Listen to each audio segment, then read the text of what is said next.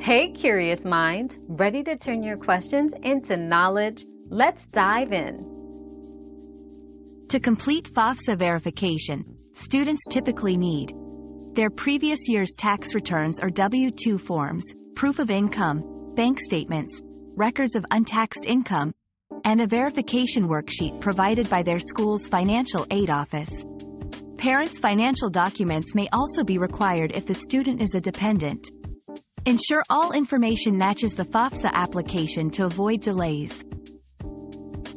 Your daily dose of discovery ends here, but the journey of learning never stops. Subscribe and join us again for more answers tomorrow.